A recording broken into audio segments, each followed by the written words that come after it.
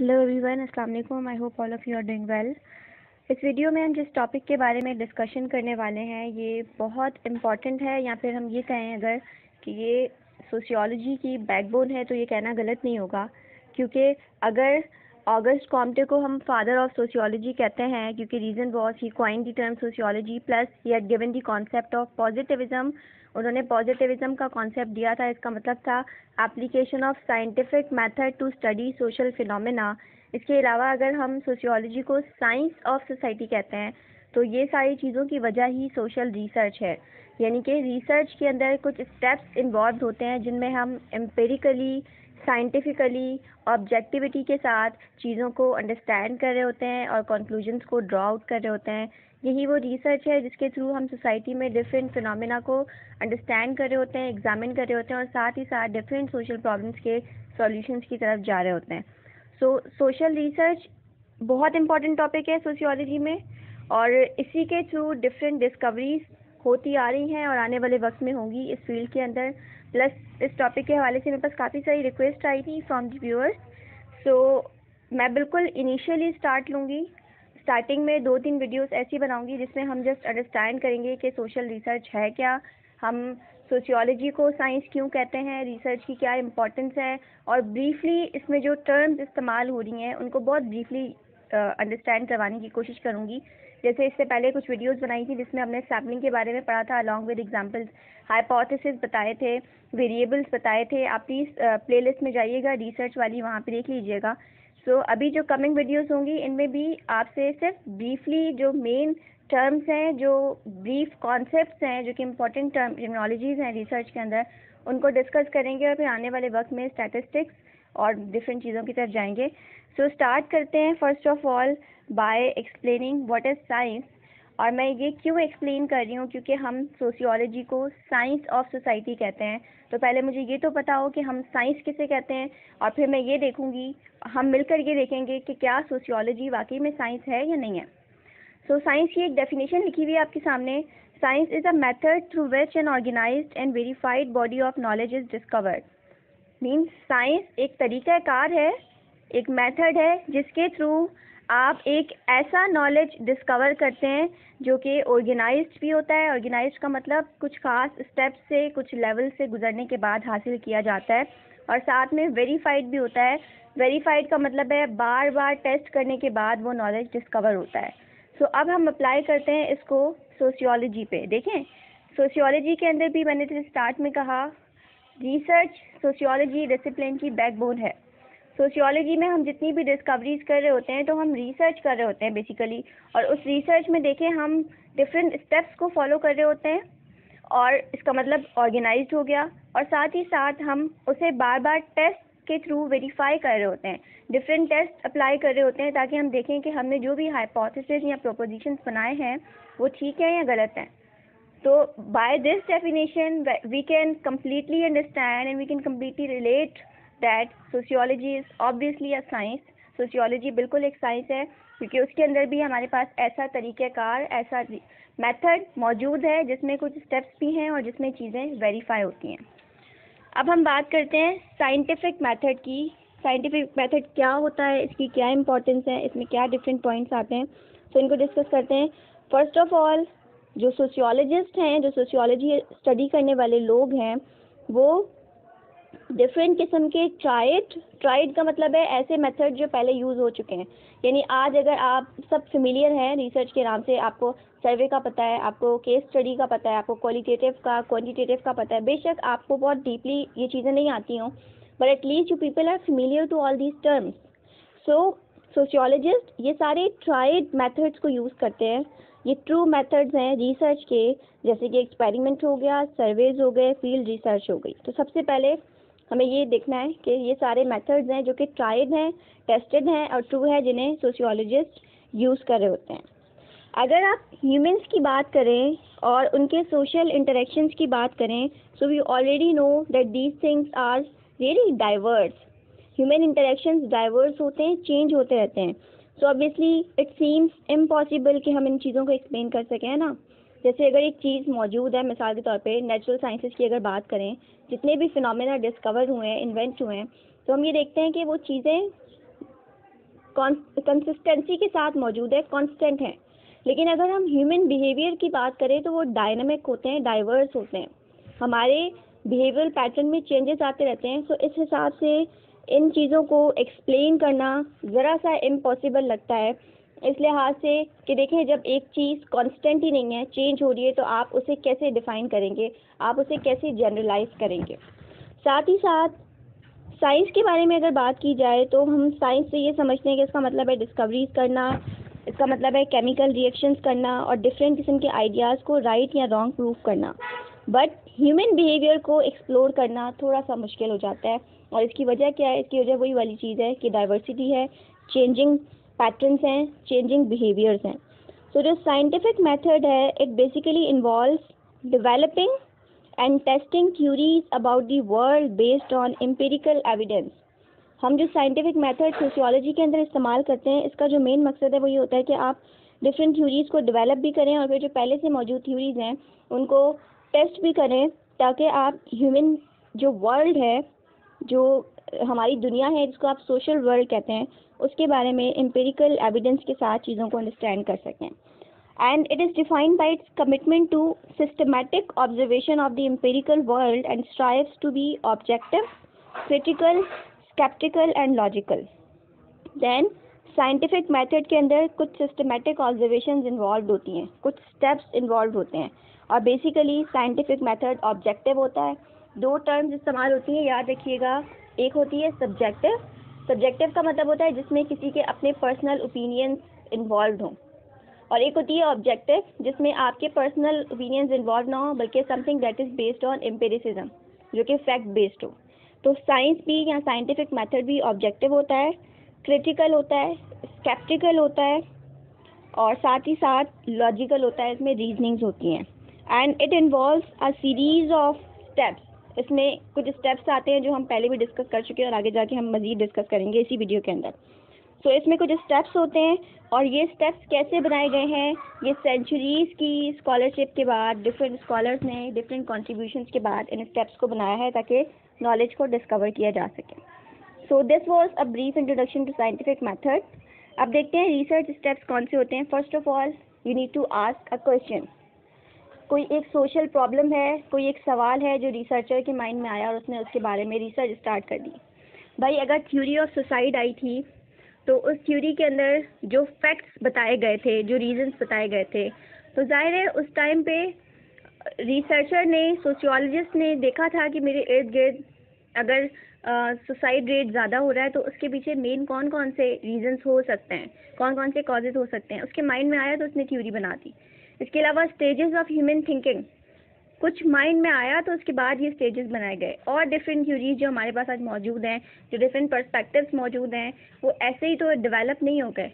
बल्कि जो रिसर्चर्स थे, जो एनालिस्ट थे, जो स्कॉलर्स थे, जो सोशियोलॉजिस्ट थे, उनके माइंड में कोई क्वेश्चन आया, कोई प्रॉब्लम आया, कोई भी चीज़, कोई ऑब्जर्वेशन और उसके बाद उस पर काम किया। तो जो फ़र्स्ट स्टेप होता है रिसर्च का, वो आपकी ऑब्जर्वेशन होती है।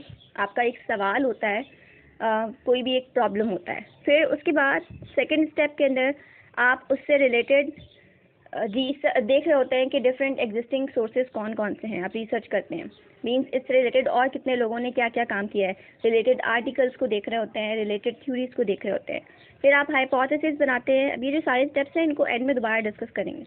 हाइपोथेसिस क्या है? इससे हाइपोथेसिस से रिलेटेड एक वीडियो मौजूद है। चैनल के अंदर आप देख लीजिएगा डिटेल में। हाइपोथेसिस बेसिकली एक प्रोपोजिशन होता है, दो वेरिएबल्स दो एंटिटीज़ के बीच में एक रिलेशनशिप होता है, एक कनेक्शन होता है, एक एसोसिएशन होता है। जैसे मिसाल के तौर पे अगर मैं कहूँ कि smoking is related to death rate among the youngsters और मैं स्पेसिफाई कर दूँ कोई भी एरिया तो इसका मतलब मैंने स्मोकिंग और डेथ रेट इन दोनों को आपस में रिलेट किया है को रिलेट किया है। तो ये हाइपोथेसिस हो जाएगा। फिर उसके बाद हम कोई डिज़ाइन बनाते हैं रिसर्च डिज़ाइन बनाते हैं और हम अपनी स्टडी को कंडक्ट करते हैं। उस डिज़ाइन के अंदर हम डिफरेंट मेथड्स को सिलेक्ट करते हैं। वो मेथड्स जो है वो आपके रिसर्च से रिलेटेड कोई भी मेथड हो सकता है। क्वालिटेटिव रिसर्च करनी है क्वान्टिटेटिव करनी है सर्वे करना है केस स्टडी करनी है इंटरव्यूज़ जो भी चीज़ें हैं, वो सारा एक डिज़ाइन होता है आपका। फिर उसके बाद आप अपना डाटा कलेक्ट करते हैं और उसे एनालाइज करते हैं और इंटरप्रीट करते हैं।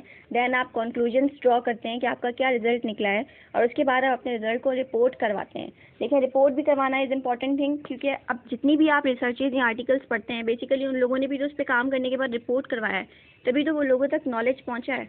वरना लोगों को कैसे पता चलेगा कि एक प्रॉब्लम का क्या सोल्यूशन है या एक किसी इफ़ेक्ट के पीछे कौन सा कॉज है?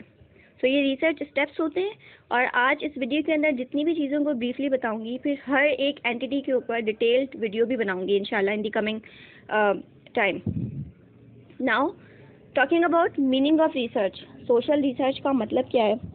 तो फ़र्स्ट ऑफ़ ऑल अगर आप अपनी सोसाइटी की बात करें so it is an organise group of person जो कि एक दूसरे के साथ एसोसिएटेड होते हैं।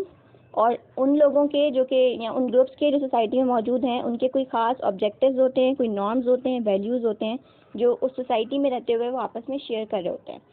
मीन्स अगर if I am living in Pakistani society it means that मैं कुछ नॉर्म्स हैं जो लोगों के साथ शेयर कर रही हूँ मेरी कुछ ऑब्जेक्टिव्स हैं। सो so, ये सारी चीज़ें होती हैं फिर लोगों की सोशल लाइफ होती है और उनकी लाइफ में सोशल प्रोसेसेस होते हैं। प्रोसेसेस के अंदर आप कॉपरेशन की बात कर सकते हैं, आप कॉन्फ्लिक्ट की बात कर सकते हैं, आप कंपटीशन की बात कर सकते हैं। सो बेसिकली जो रिसर्च है, ये एक सिस्टमेटिक और ऑर्गेनाइज्ड एफर्ट है। सिस्टमेटिक और ऑर्गेनाइज का मतलब आपको ऑलरेडी पता चल गया है। मीन्स इसमें कुछ स्टेप्स इन्वॉल्व हैं और वो क्यों हैं? ताकि आप किसी ख़ास सोशल प्रॉब्लम जिसको सॉल्यूशन की ज़रूरत है, उसे इन्वेस्टिगेट कर सकें। आज अगर आप पैंडमिक कोविड नाइन्टीन की बात करें तो हर किसी की ज़बान पे एक सवाल होता है what is the role of sociologist in the current pandemic तो आप फिर, आप ये देखते हैं what are the causes behind it what would be the consequences तो ये जो सारी चीज़ें हैं, ये जो अगर एक प्रॉब्लम सोसाइटी में आता है और उसको सोल्यूशन की नीड होती है तो कुछ स्टेप्स के थ्रू आप कुछ चीज़ों को एनालाइज करने के थ्रू इवेल्युएट करने के थ्रू आप कंक्लूजन्स ड्रॉ कर रहे होते हैं। फिर जो आपका साइंटिफिक मेथड है it contributes to the general body of knowledge general body of knowledge का मतलब है, आप ऐसा नॉलेज डिस्कवर करते हैं, जिसको फिर आप जनरलाइज कर देते हैं। यानी अगर जैसे मैंने आपको सोसाइटी थ्योरी की एग्जांपल दी थी, अगर वो थ्योरी बनाई गई तो फिर उसको पूरी सोसाइटी के पर जनरलाइज किया गया। मींस जहाँ पे भी इस सोसाइटी में मौजूद, जहाँ पे भी सुसाइड होगी तो उसके पीछे ये ये कॉजेज़ होंगे। जो जो चार टाइप ऑफ़ सोसाइटी सोसाइट जो बताई गई थी तो उसके पीछे जो भी कॉजेज बताए गए थे, उन्होंने कहा था कि जनरलाइज्ड है। थ्योरी का मतलब जनरलाइज्ड है। इसी तरह से अगर टाइप्स ऑफ़ अथॉरिटी बताई गई फॉर एग्ज़ाम्पल तो वो टाइप्स पे हर जगह अप्लाई होती हैं। जो पर्टिकुलर सोसाइटी है, उस पर्टिकुलर सोसाइटी के कॉन्टेक्स्ट के अंदर हर जगह वो चीज़ें अप्लाई होती हैं। मीन्स आप उस नॉलेज को जनरलाइज कर देते हैं।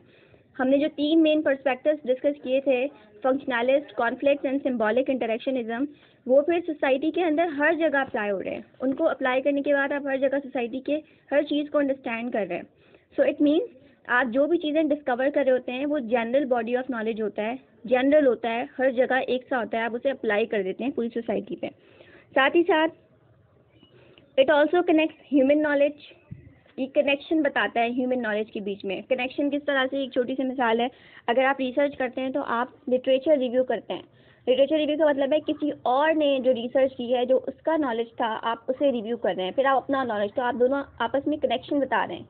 एक कनेक्शन होता है। Then it is systematic analysis and observation that may lead to the development of generalisation principle and theories resulting in prediction and possibly ultimate control of events in society ये एक ऐसा analysis है, ऐसी systematic observation है, जिसमें आप development करते हैं जनरलाइजेशन की जनरलाइजेशन का मतलब बता दिया है, कोई ऐसा नॉलेज जो कि हर जगह एक सोसाइटी के अंदर पर्टिकुलर सोसाइटी के अंदर अप्लाई करते हैं।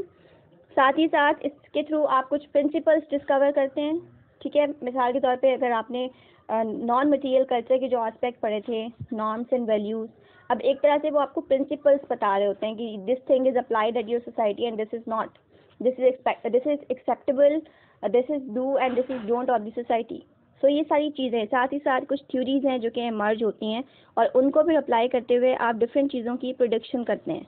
आप डिफरेंट इवेंट्स को अपनी सोसाइटी में कंट्रोल कर सकते हैं। जैसे अगर again I would take an example of society theory अब उन्होंने जो भी रीजंस बता दिए थे अगर आज हम उसे किसी भी सोसाइटी में अप्लाई करें अगर आप इंडिया के अंदर किसी को सुसाइड करते हुए देखते हैं चाहे वो कोई बड़ा एक्टर होता है नॉर्मल इंसान होता है, अगर आप पाकिस्तानी सोसाइटी के अंदर किसी स्टूडेंट को उसके रिज़ल्ट में कम मार्क्स आने की वजह से सुसाइड करते हुए देखते हैं तो आप रिलेट कर पा रहे होते हैं उस थ्योरी को जो आज से काफ़ी वर्ष से पहले इस सोसाइटी के अंदर डेवलप की गई थी। बट आप प्रिडिक्ट कर पाते हैं, आप अंडरस्टैंड कर पाते हैं उसको अप्लाई करते हुए। Then it also attempt to answer और सॉल्व सोशल प्रॉब्लम सबसे मेन चीज़। हमारी सोसाइटी के अंदर जितने भी सोशल प्रॉब्लम्स मौजूद हैं, उनको अंडरस्टैंड करना, उनको सॉल्व करना इसमें मदद दे रहा होता है। अब बात करेंगे डेफिनेशंस ऑफ़ सोशल रिसर्च देखें सोशल रिसर्च की बहुत सारी डेफिनेशंस हैं। यहाँ पे मैंने दो ऐड की हैं तो इसको जल्दी से देख लेते हैं और उसके बाद फिर मज़ीद आगे कंटिन्यू करते हैं। फ़र्स्ट ऑफ़ ऑल जो फ़र्स्ट डेफिनेशन है, इसके अकॉर्डिंग सोशल रिसर्च एक सिस्टमाइज इन्वेस्टिगेशन है, जिसके थ्रू आप न्यू नॉलेज को डिस्कवर करते हैं about social phenomena and problems बहुत आसान है। फ़र्स्ट ऑफ़ ऑल बार बार एक लफ्ज़ इस्तेमाल हो रहा है सिस्टमेटिक ऑर्गेनाइज्ड सिस्टमेटिक ऑर्गेनाइज्ड इसका मतलब है कुछ स्टेप्स इन्वॉल्व हैं।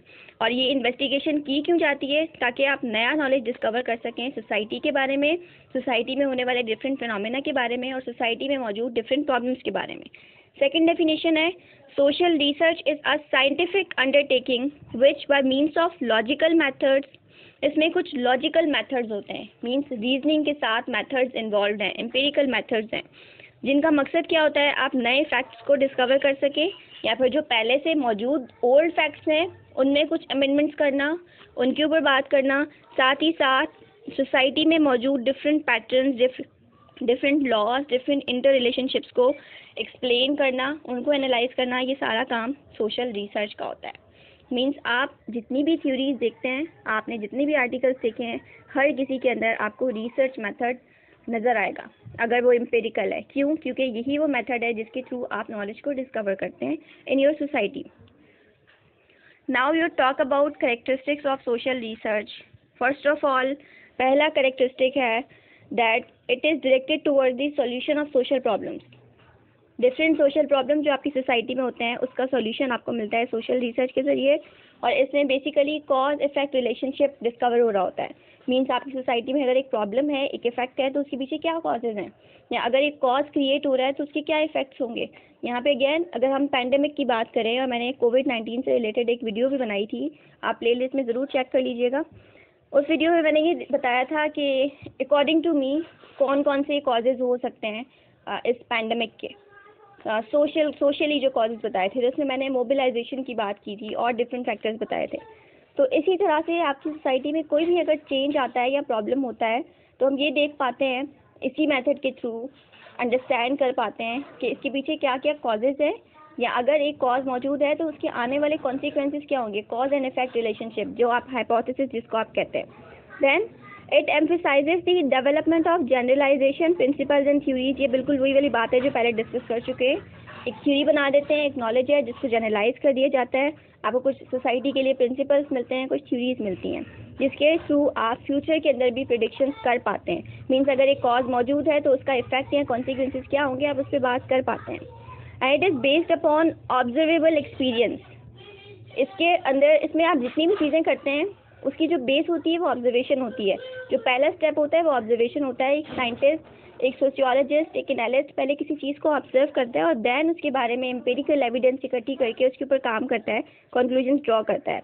And it involve new data from primary source अब इसमें डाटा भी दो तरह का होता है। इससे रिलेटेड भी वीडियो बनाऊँगी तो उसमें बताऊँगी। डाटा क्या होता है? कोई भी इन्फॉर्मेशन अब डाटा दो तरह का हो सकता है, एक प्राइमरी और एक सेकेंडरी प्राइमरी का मतलब है आपने खुद जाके वो डाटा कलेक्ट किया, जिसको आप फ़र्स्ट हैंड नॉलेज कहेंगे। और दूसरा होता है सेकेंडरी मीन्स किसी और ने उस पर काम किया हुआ है, किसी और के पास कहीं और से कोई सोर्स लिया और उस पर आपने काम करना स्टार्ट कर दिया। एग्जिस्टिंग डाटा के ऊपर काम करना स्टार्ट कर दिया किसी और नए मकसद के लिए। तो ये हम कर रहे होते हैं अक्सर, हम जो लिटरेचर रिव्यू करते हैं, उसमें हम क्या करते हैं? या अगर हम किसी भी आर्टिकल के ऊपर रिव्यू लिख रहे हैं या सिंपली अगर हम आर्टिकल लिख रहे हैं तो हम क्या करते हैं, हम उससे रिलेटेड जितना भी नॉलेज है, जितना भी डाटा है, उसको किसी अपने नए पर्पज़ के लिए यूज़ कर रहे होते हैं।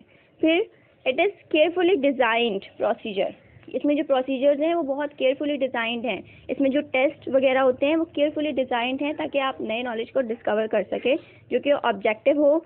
और मोस्ट इंपॉर्टेंट थिंग है कि इसमें आप जितना भी डाटा कलेक्ट करते हैं, या जो भी चीज़ें कर रहे होते हैं it basically strives to the objective and logical applying research के अंदर हम ऑब्जेक्टिविटी की तरफ़ जाते हैं कि कहीं पर हमारे पर्सनल ओपिनियंस या सब्जेक्टिविटी इन्वॉल्व ना हो। ऑब्जेक्टिविटी हो और साथ ही साथ लॉजिकल हो मीन्स उसमें रीजनिंग इन्वॉल्व हो। Then it gives answers to many social problems many unsolved problems और सबसे इंपॉर्टेंट चीज़ जो रिसर्चर है, उसका पेशेंट होना और अनहरीड होना बहुत ज़रूरी है। देखिए, हमने शुरू में जो साइंस की डेफिनेशन डिस्कस की थी, उसमें एक वर्ड था वेरीफाइड कोई भी चीज़ वेरीफाइड ऐसे नहीं हो जाती, उसको बार बार टेस्ट किया जाता है। कई बार आप जो हाइपोथेसिस बनाएँगे, जब आप डाटा कलेक्ट करेंगे इंटरप्रीट करेंगे तो आपका हाइपोथेसिस गलत भी साबित हो सकता है। कई बार आप ठीक साबित हो सकते हैं। So you need to be patient कि आप बार बार उस चीज़ को करें ताकि वैलिडिटी आए। तो अगर आप पेशेंट नहीं होंगे, अगर एक रिसर्चर पेशेंट नहीं होगा हरी अब हर चीज़ काम करना चाहेगा in in a hurried way so obviously फिर वैलिडिटी नहीं आती है so researcher should be patient साथ ही साथ आप जो भी कंक्लूजन ड्रॉ करें, उसको आप केयरफुली रिपोर्ट करें ताकि सही नॉलेज दूसरों तक पहुँचे। और साथ ही साथ ईच इंपॉर्टेंट टर्म जो भी चीज़ें, जो भी टर्म्स इन्वॉल्व होती हैं, वो सब डिफाइंड होती हैं। स्पेसिफिक होना बहुत ज़रूरी है। मीन्स अगर आप रिसर्च कर रहे हैं तो आपके टॉपिक से लेके आपके कंक्लूजन तक हर चीज़ स्पेसिफिक हो। टॉपिक के अंदर अगर स्पेसिफिक चीज़ नहीं है, मिसाल के तौर पे अगर आप एजुकेशन के किसी भी आस्पेक्ट पे काम करना चाह रहे हैं। अब आपको पता ही नहीं है कि अब एजुकेशन के अंदर तो डिफरेंट पैरामीटर्स आ जाते हैं। डिफरेंट लेवल्स आ जाते हैं, फिर डिफरेंट प्लेसेस आ जाती हैं। तो आप स्पेसिफाई करेंगे कि आप किस एरिया में किस पैरामीटर के अकॉर्डिंग काम कर रहे हैं। तो स्पेसिफिक होना भी बहुत ज़रूरी है। देन ऑब्जेक्टिव्स की अगर बात करें सोशल रिसर्च के ऑब्जेक्टिव्स क्या हैं? सो फ़र्स्ट ऑफ़ ऑल ये फैसिलिटेट करती है अंडरस्टैंडिंग ऑफ़ ह्यूमन बिहेवियर आप इंसानों के बिहेवियर के बारे में अंडरस्टैंड कर पाते हैं और इसका जो बेहतर प्रूफ है वो मिलता है सोशल साइकोलॉजी के डिफरेंट टॉपिक से। सोशल साइकोलॉजी की एक प्ले लिस्ट है, मेरे चैनल पे आप विज़िट कीजिएगा। उसमें आप देखेंगे कि हम अगर डिफरेंट वे में बिहेव कर रहे होते हैं तो उसके पीछे कुछ रीजंस होते हैं। तो हम ह्यूमन बिहेवियर को अंडरस्टैंड कर पाते हैं। साथ ही साथ हम नया नॉलेज एक्वायर कर पाते हैं about different social phenomena and problems हम डिफरेंट सोशल फिनोमिना का रिलेशनशिप बता पाते हैं। हम नेचुरल लॉज को फाइंड आउट कर पाते हैं। मीन्स ऑल इन ऑल अगर आप ऑब्जेक्टिव की बात करें तो हम अब तक इस वीडियो में अंडरस्टैंड कर चुके हैं कि सोशल रिसर्च का ऑब्जेक्टिव क्या है। और मेन ऑब्जेक्टिव यही है to discover a knowledge that is verified and organised so